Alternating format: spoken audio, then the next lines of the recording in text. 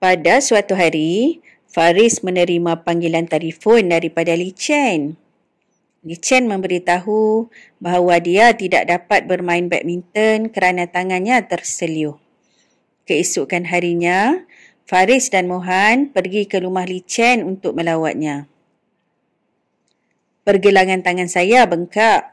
Doktor telah memberikan ubat untuk mengurangkan rasa sakit. Doktor juga menasihati saya supaya banyak berehat. Syukur kamu telah mendapatkan rawatan daripada doktor. Tangan kamu akan cepat sembuh jika kamu mendengar nasihat doktor dan kurang bergerak. Baiklah Faris, saya akan dengar nasihat kamu. Saya akan banyak berehat agar tangan saya cepat sembuh. Baiklah, Li Chen. Kami berdua balik dahulu. Kami akan datang lagi untuk menziarahi kamu.